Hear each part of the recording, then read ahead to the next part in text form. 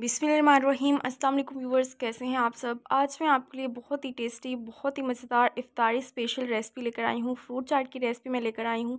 बहुत ही टेस्टी हमारी फ्रूट चाट तैयार होगी। इस तरह से आपने ज़रूर फ्रूट चाट को तैयार करना है।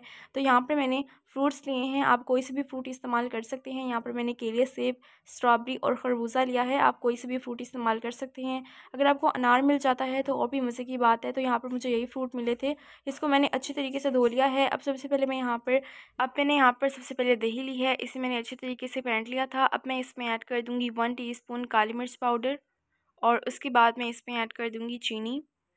यहाँ पर मैंने वन टेबल स्पून इसमें चीनी ऐड कर दी है। ये ऐड करने के बाद मैं इसमें ऐड कर दूँगी क्रीम। आप कोई सी भी डेरी क्रीम इस्तेमाल कर सकते हैं, ये मैं इसमें ऐड कर दूँगी। और उसके बाद मैं इसे अच्छे तरीके से मिक्स कर लूँगी। ये टेट्रा पैक वाली मैं क्रीम इस्तेमाल कर रही हूँ।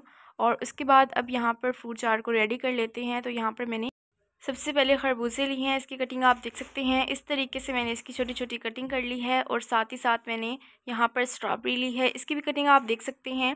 और उसके बाद मैं इसमें ऐड कर दूँगी केले। इसकी कटिंग मैंने कुछ इस तरह से की है। आपको जिस तरह पसंद है, आपको छोटी छोटी पसंद है, तब उस तरह से भी कर सकते हैं।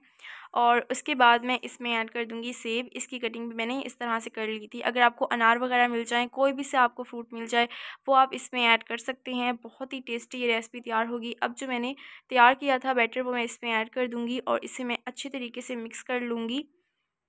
इस तरह से फ्रूट शेट बना कर देखें, ये रेसिपी आपको बहुत ही पसंद आएगी, बहुत ही टेस्टी, इसका जो टेस्ट है बहुत ही मज़े का हो जाता है। अब मैं यहाँ पर कुछ इसमें ड्राई फ्रूट्स ऐड कर दूँगी, आप कोई से भी इस्तेमाल कर सकते हैं।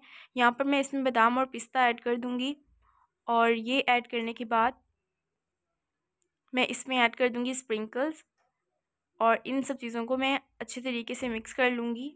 जिस तरह से आप बाज़ार से फ्रूट चाट लेकर आते हैं, वही टेस्ट इसका तैयार होगा। बहुत ही टेस्टी और बहुत ही सिंपल तरीके से मैंने इसे तैयार किया है। कोई भी मेहनत की चीज़ मैंने इसमें नहीं ऐड की। तो इस रेसिपी को ज़रूर ट्राई कीजिएगा। ये आपको बहुत ही ज़्यादा पसंद आएगी। इसी तरह की और बहुत सारी रेसिपीज़ के लिए रमज़ान स्पेशल रेसिपीज़ मैंने अपने चैनल पर अपलोड कर दी हैं। पकौड़ों की रेसिपी दही बल्लों की रेसिपी फ्रूट चाट की रेसिपीज़ स्प्रिंग रोल की रेसिपी समोसों की रेसिपी सारे मेरे चैनल पर मौजूद हैं।